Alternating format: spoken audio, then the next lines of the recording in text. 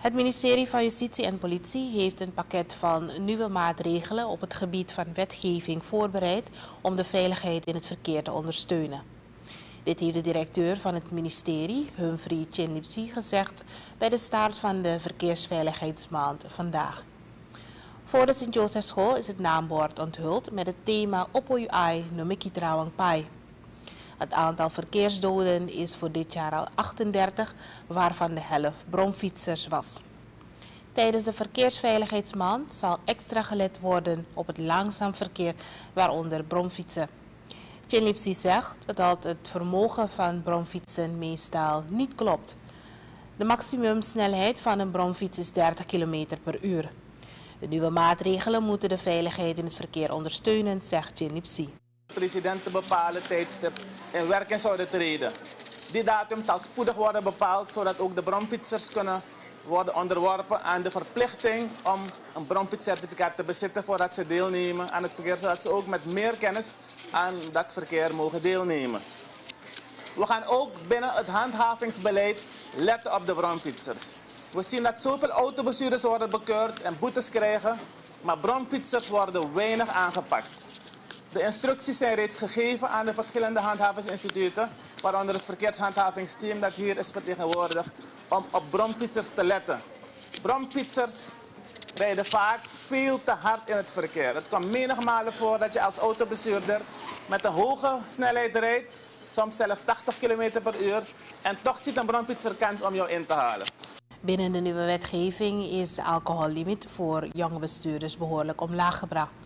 Ook zullen rijbewijzen voor jonge bestuurders maar voor twee jaar geldig zijn. Voor degenen die zich niet houden aan de regels wordt het rijbewijs al vervallen verklaard. Heel streng letten op de naleving van de regels voor alle bestuurders.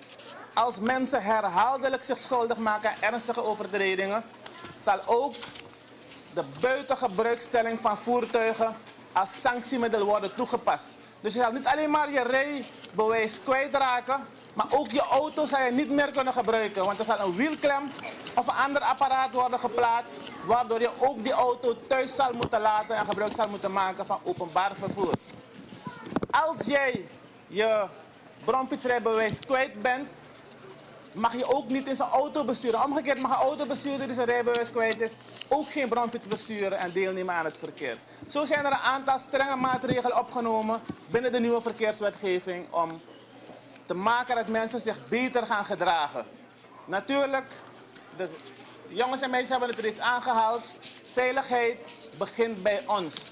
Wij zijn allemaal verantwoordelijk voor meer veiligheid. En alle personen die deelnemen aan het verkeer zullen daarvan doordrongen moeten zijn. En hun eigen gedrag moeten aanpassen, zodat we verbetering krijgen hierin. Minder verkeersdoden, minder verkeersongevallen, meer veiligheid in het verkeer. Wij zijn vastbesloten om als overheid samen met alle verkeersrelevante actoren te werken aan de veiligheid. Dennis Webhoff van de afdeling verkeer van het ministerie van Openbare Werken zegt dat zijn ministerie een gele kaart moet krijgen gezien de achterstand in het aanbrengen van zebrapaden. Het ministerie is verantwoordelijk voor de zebrapaden en de verkeerslichten. Er zal alles aan gedaan worden om de zebrapaden en de wegmarkeringen zo snel mogelijk in orde te maken.